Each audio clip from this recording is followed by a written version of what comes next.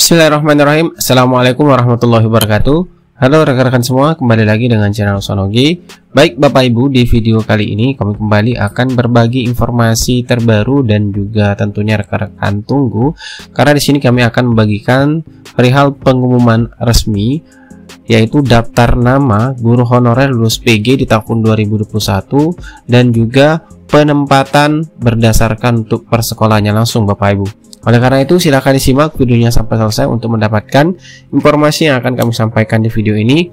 Namun, seperti biasa kami selalu mengingatkan bagi rekan-rekan yang baru pertama kali menemukan channel ini, jangan lupa untuk tekan tombol subscribe-nya dan aktifkan lonceng notifikasinya agar setiap kami mengupdate info-info terbaru, rekan-rekan yang pertama kali mendapatkan notifikasinya.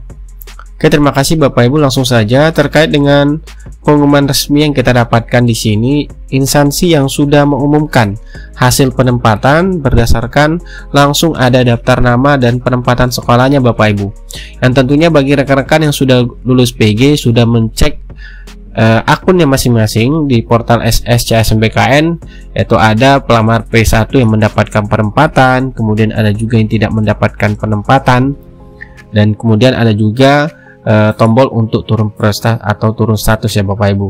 Nah, di sini bagi rekan-rekan yang mendapatkan penempatan untuk daerah yang sudah mengumumkannya Bapak Ibu, yaitu kami cek di website resminya yaitu di BKD Jogja atau di Provinsi Daerah Istimewa Yogyakarta Bapak Ibu. Nah, di sini sudah diumumkan untuk perihal daftar nama honorer yang lulus PG per sekolah untuk penempatannya. Nah, ini pengumumannya Bapak Ibu yang sudah disampaikan secara resmi. Jadi bagi rekan-rekan tenaga guru yang sudah lulus PG di tahun 2021 bisa langsung mencek hasil penempatan per sekolahnya. Nah, di sini juga disampaikan bahwasanya untuk di pemerintah daerah istimewa Yogyakarta itu membuka kesempatan bagi warga negara Indonesia yang memenuhi syarat untuk mengisi itu ada dibuka 547 formasi ya Bapak Ibu untuk P3 Kata Naga Guru tahun 2022 di mana di sini diperuntukkan khusus untuk yang P1 itu 273 formasi. Artinya ini semua diakomodir Bapak Ibu bagi rekan-rekan yang sudah lulus PG di tahun 2021 kemudian untuk P2 itu dua formasi dan untuk P3 yaitu 272 formasi Bapak Ibu. Nah, kalau kita cek di sini berarti untuk P4 itu tidak ada ya. Karena hanya diperuntukkan dibuka formasinya P1, P2 dan P3 untuk di daerah Istimewa Yogyakarta ini Bapak Ibu. Nah, kita langsung saja cek per daftar nama honorernya yang sudah lulus PG untuk ditempatkan per sekolahnya. Nah, ini Bapak Ibu lampiran untuk formasi P1 dan kalau kita perhatikan di sini langsung ada nama, kemudian jabatan dan juga langsung instansi penempatan yaitu langsung per sekolah.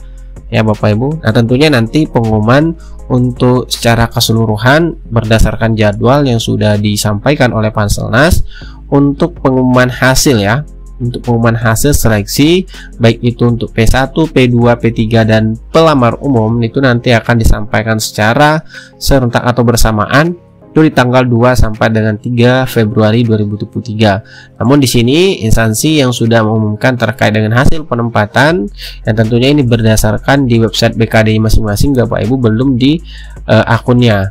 Jadi Bapak Ibu bisa cek langsung di website resminya.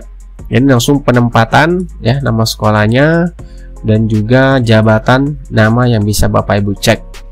Nah, ini Bapak Ibu jumlahnya tadi ada 273 yang lulus PG.